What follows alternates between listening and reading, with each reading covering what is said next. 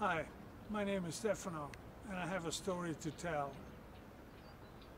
In 1989 I was living in London and I bought an old boat built in 1932, the Wairakei II.